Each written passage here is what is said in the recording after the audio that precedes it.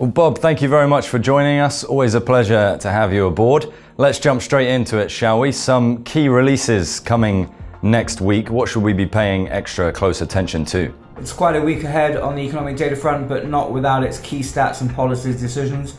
For the US dollar early in the week, wholesale inflation and retail sales figures. Obviously, plenty of attention on inflation, but expect retail sales to be particularly key early in the week.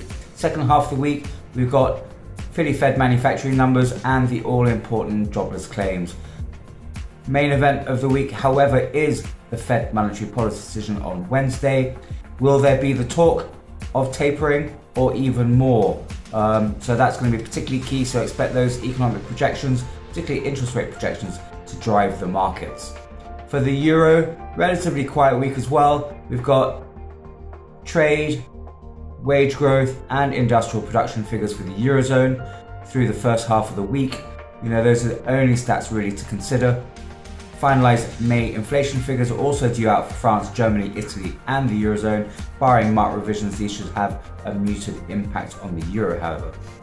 For the pound, key stats as well, there's some important numbers coming up in the week ahead. We've got employment figures, expect claimant count, and unemployment numbers to be particularly key.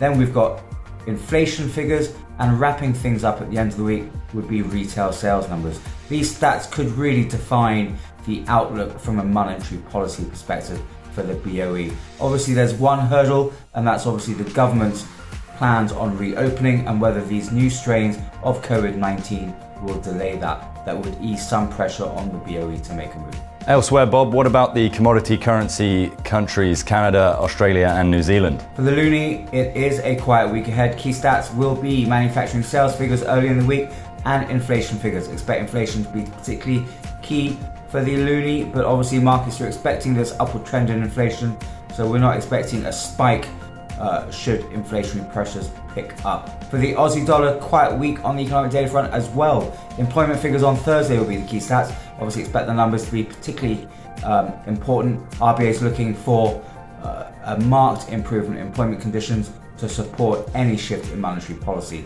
So that's currently looking at 2024.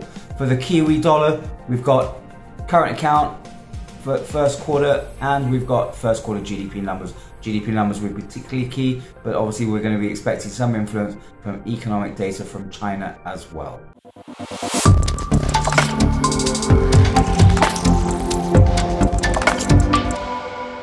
Moving across to Japan and China, is there anything that's caught your eye there coming up in the week ahead? For the Japanese yen, finalized industrial production figures at the early part of the week. Not too much influence there, barring marked revisions from prelim. Trade data will, however, influence midweek, so expect plenty of interest there. End of the week inflation figures, don't expect too much impact from the inflation figures. Bank of Japan, it's also in action at the end of the week, but we're not expecting any surprises.